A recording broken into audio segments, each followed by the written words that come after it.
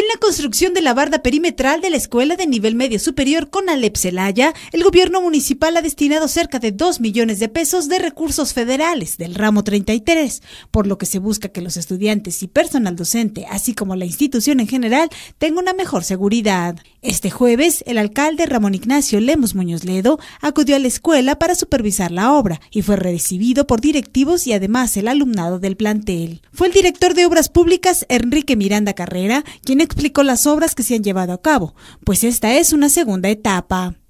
Demolición de 384 metros cuadrados de barra ya, ya en malas condiciones, 104 zapatas, cadenas de desplante por 305 metros, cadenas de cerramiento por 165 metros, rehabilitación y colocación de herrería, 50 piezas, y una longitud de barra de, de bloque total de 305 metros.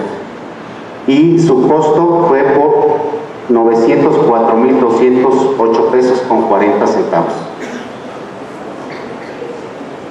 La barra que actualmente se está construyendo que inició hace tres semanas y terminará el 13 de noviembre, el director del plantel agradeció los apoyos recibidos para lograr la construcción de una barda digna, pues la anterior incluso tuvo que ser demolida. Es porque después de analizar varios planteles de diversos subsistemas, fuimos considerados, considerados como un plantel modelo. En el lugar, algunos maestros y alumnos del plantel también solicitaron al alcalde Ramón Lemus su apoyo para colocar el pavimento de la calle que da acceso a la escuela, pues en época de lluvias se vuelve intransitable. Con imágenes de David Ledward, para Vía Noticias, América Ortiz.